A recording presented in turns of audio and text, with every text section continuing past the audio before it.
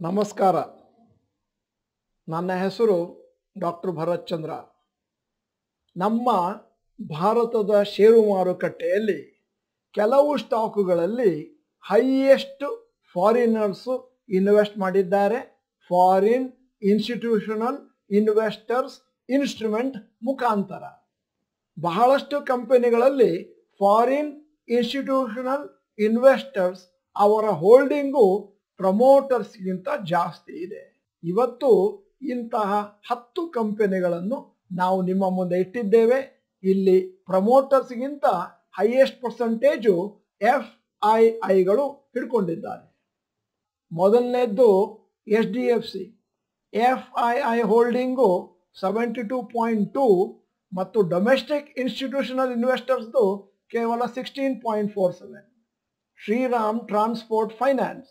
F I I ಐವತ್ತೇಳು point ಐದು domestic eleven point seven one promoters holding twenty five point one zero Zee ಎಂಟರ್ಟೈನ್ಮೆಂಟಲ್ಲಿ F I I holding fifty seven point five promoters holding three point nine nine ಮತ್ತೆ Apollo hospitals promoters holding twenty nine point eight two F I I holding fifty three point two Axis ಬ್ಯಾಂಕ್ನಲ್ಲಿ ಪ್ರಮೋಟರ್ಸ್ದು ಹನ್ನೊಂದು point ಆರು ಒಂಬತ್ತು F I I holding ಐವತ್ತೆರಡು point ಐದು percent ಇಂಡೋಸಿನ್ ಬ್ಯಾಂಕ್ನಲ್ಲಿ F I ಐಸ್ದು ಐವತ್ತೆರಡು ಪಾಯಿಂಟ್ ಒಂದು, ಮತ್ತೆ ಡೊಮೆಸ್ಟಿಕ್ ಇನ್ಸ್ಟಿಟ್ಯೂಷನಲ್ ಇನ್ವೆಸ್ಟರ್ಸ್ ಅವ್ರದ್ದು ಸೆವೆಂಟೀನ್ ಪಾಯಿಂಟ್ ಸೆವೆನ್ ಫೋರ್ ಪ್ರಮೋಟರ್ಸ್ದು ಕೇವಲ sixteen point five four I C I C I ಬ್ಯಾಂಕ್ನಲ್ಲಿ ಫಾರಿನರ್ಸ್ದು ನಲವತ್ತೆಂಟು ಪರ್ಸೆಂಟು ಡೊಮೆಸ್ಟಿಕ್ ಇನ್ಸ್ಟಿಟ್ಯೂಷನಲ್ ಇನ್ವೆಸ್ಟರ್ಸ್ದು ಫಾರ್ಟಿ ಒನ್ ಪಾಯಿಂಟ್ ಸೆವೆನು ಪ್ರಮೋಟರ್ಸ್ದು ಏನೂ ಇಲ್ಲ. ಕೋಟಕ್ ಬ್ಯಾಂಕ್ನಲ್ಲಿ forty two point eight foreigners Indians fourteen point six two retail investors ಇಪ್ಪತ್ತಾರು. ಜುಬಿಲೆಂಟ್ ಫುಡ್ ವರ್ಕ್ನಲ್ಲಿ ಫಾರಿನರ್ಸ್ ಅಂದರೆ F I I forty one point seven ಮತ್ತು domestic institutional investors ten point six three promoters holding forty one point nine four Redington India ಅಂತ ಒಂದು company ಅದರಲ್ಲಿ F I ಐಗಳದ್ದು forty one point two ಮತ್ತೆ domestic institutional investors fifteen point nine three promoters holding ಏನೂ ಇಲ್ಲ. ಇವತ್ತು ಏಳು ಗಂಟೆಗೆ ಚಾನಲ್ ಒನ್ನಲ್ಲಿ ಒಂದು ಇಂಟ್ರೆಸ್ಟಿಂಗ್ ವಿಡಿಯೋ ಮಾಡಿದ್ದೇವೆ. ಎಲ್ಲರೂ ನೋಡಲೇಬೇಕು. ಮೂರು ಪಟ್ಟು ಮೇಲೆ ಏರಿದ ಷೇರುಗಳು the stocks went up by three times ಈ ವಿಡಿಯೋ ಬಹಳ ಇಂಪಾರ್ಟೆಂಟು ಯಾಕಂದರೆ ಕೊರೋನಾ ಟೈಮಲ್ಲಿ ಬಿದ್ದದ್ದು ಹೆಚ್ಚಿನ ಷೇರುಗಳು ಮೇಲಕ್ಕೆ ಹೋಗಿದ್ದಾವೆ. ಆದರೆ ಕೆಲವು ಷೇರುಗಳು ಮೂರು ಪಟ್ಟು ಹೋಗಿವೆ.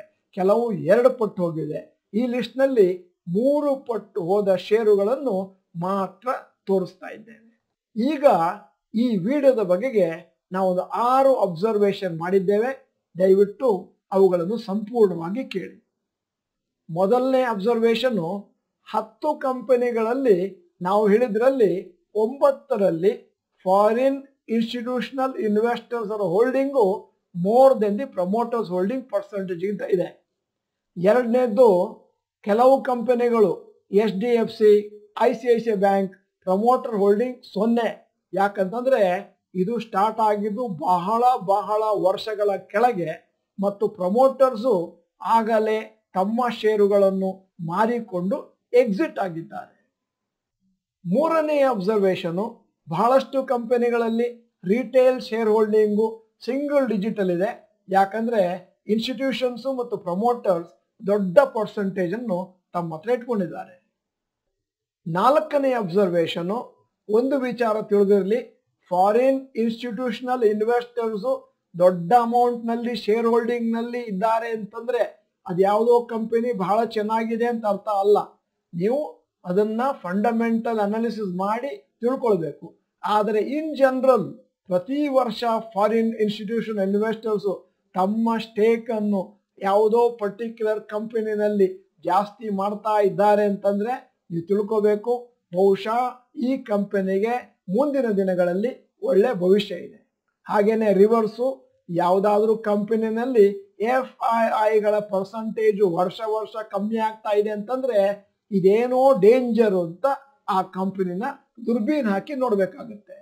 ಐದನೇ ಅಬ್ಸರ್ವೇಷನ್ ಒಂದು ಆಶ್ಚರ್ಯಕರವಾದ ನ್ಯೂಸ್ ಏನು ಅಂತಂದ್ರೆ, ಈ ಹತ್ತು ಕಂಪನಿಗಳನ್ನು ನಾವೇನು ನಮೂದಿಸಿದ್ದೇವೆ, ಅದರಲ್ಲಿ ಆರು ಬ್ಯಾಂಕಿಂಗ್ ಮತ್ತು ಫೈನಾನ್ಸ್ ಸೆಕ್ಟರ್ಗೆ ಸೇರಿದ ಷೇರುಗಳು ಅರ್ಥ ಏನು ಅಂತಂದ್ರೆ, ಈ ಸೆಕ್ಟರ್ಗೆ ಮುಂದಿನ ದಿನಗಳಲ್ಲಿ ಒಳ್ಳೆ ಭವಿಷ್ಯ ಇದೆ. ಆರನೇ ಅಬ್ಸರ್ವೇಷನು ಯಾವುದಾದ್ರೂ ಕಂಪನಿಯಲ್ಲಿ ಪ್ರಮೋಟರ್ ಹೋಲ್ಡಿಂಗು ಸೊನ್ನೆ ಅಥವಾ ಝೀರೋ ಅಂತಂದ್ರೆ ಅದು ಒಂದು ಸಮಸ್ಯೆ ಅಂತ ಯೋಚನೆ ಮಾಡಬಾರ್ದು. ಯಾಕಂತಂದ್ರೆ ಕಂಪನಿಯ ಮ್ಯಾನೇಜ್ಮೆಂಟು, ಬೋರ್ಡ್ ಆಫ್ ಡೈರೆಕ್ಟರ್ಸು ಚೆನ್ನಾಗಿದ್ರೆ ಅವರ ಬಿಸ್ನೆಸ್ಸು ಚೆನ್ನಾಗಿ ನಡೀತಾನೇ ಇರುತ್ತೆ. ಬಹಳ ಹೊಸ ಹೂಡಿಕೆದಾರರು ಏನು ಯೋಚನೆ ಮಾಡ್ತಾರೆ ಅಂತಂದ್ರೆ ಯಾವುದಾದ್ರೂ ಕಂಪನಿಯಲ್ಲಿ ಝೀರೋ ಅಥವಾ ಲೋ ಪ್ರಮೋಟರ್ ಹೋಲ್ಡಿಂಗ್ ಇದ್ರೆ ಆ ಕಂಪನಿಯನ್ನು ನೋಡ್ಕೊಳ್ಳಿಕ್ಕೆ ಓನರ್ ಇಲ್ಲ ಕಂಪನಿಯನ್ನು ಮುಂದೆ ಚೆನ್ನಾಗಿ ಕೆಲಸ ಮಾಡದೇ ಇರ್ಬೋದು, ಚೆನ್ನಾಗಿ ಬಿಸ್ನೆಸ್ ಡೆವಲಪ್ಮೆಂಟ್ ಆಗದೆ ಇರ್ಬೋದು ಅಂತ ಊಹಿಸ್ತಾರೆ. ಅದು ತಪ್ಪು ಕಲ್ಪನೆ. ನಾನು ಇವತ್ತು ನಿಮ್ಮ ಹತ್ರ ಒಂದು ಪ್ರಶ್ನೆ ಕೇಳ್ತಾ ಇದ್ದೇನೆ. ಸ್ವಲ್ಪ ಸಂಶೋಧನೆ ನಡೆಸಲಿಕ್ಕೆ ನಿಮಗೆ ಸ್ಕೋಪ್ ಸಿಕ್ಕಲಿ ಅಂತ. ಆಕ್ಸಿಸ್ ಬ್ಯಾಂಕಿನ ಹಳೆಯ ಹೆಸರು ಏನು? ನೋಡೋಣ. ಎಷ್ಟು ಜನ ರಿಸರ್ಚ್ ಮಾಡ್ತಾರೆ, ಎಷ್ಟು ಜನ ನೆನ್ಪಿಟ್ಕೊಂಡಿದ್ದಾರೆ ಅಂತ. ಸರಿಯಾದ ಉತ್ತರವನ್ನು ದಯವಿಟ್ಟು ಕಮೆಂಟ್ ಬಾಕ್ಸ್ನಲ್ಲಿ ಬರೀರಿ. ನೀವು ಡಾಕ್ಟರ್ ಭರತ್ ಚಂದ್ರ ಚಾನೆಲ್ ಮೆಂಬರಲ್ಲಿದೆ ಸಬ್ಸ್ಕ್ರೈಬ್ ಬಟನ್ ಬೆಲ್ ಐಕಾನ್ ಒತ್ತಿ ವಿಡಿಯೋನ ಎಲ್ಲರಿಗೂ ಕಳಿಸ್ಕೊಡಿ. ಮತ್ತೆ ವಿಡಿಯೋ ಚೆನ್ನಾಗಿದ್ರೆ ಲೈಕ್ ಬಟನ್ ಒತ್ತೋದನ್ನು ಮರಿಬೇಡಿ. ಕಮೆಂಟ್ ಮಾಡಿದ್ರೆ ನಮಗೆ ಖುಷಿ ಆಗುತ್ತೆ. ಯಾಕಂತಂದ್ರೆ ನೀವು ಕೂಡ ನಮ್ಮೊಟ್ಟಿಗೆ ಈ ವಿಡಿಯೋದ ಪ್ರೋಸೆಸ್ನಲ್ಲಿ ಭಾಗಿಯಾಗ್ತಾ ಇದ್ದೀರಿ. ದಿನಕ್ಕೆ ನಾಲ್ಕು ವಿಡಿಯೋಗಳನ್ನು ಮಾಡ್ತಾ ಇದ್ದಾವೆ. ಚಾನಲ್ ಒನ್ ಚಾನಲ್ ಟು ಎರಡಕ್ಕೂ ಸಬ್ಸ್ಕ್ರೈಬ್ ಮಾಡ್ಕೊಳ್ಳಿ. ನಿಮಗೆ ಅನುಕೂಲ ಆಗುತ್ತೆ.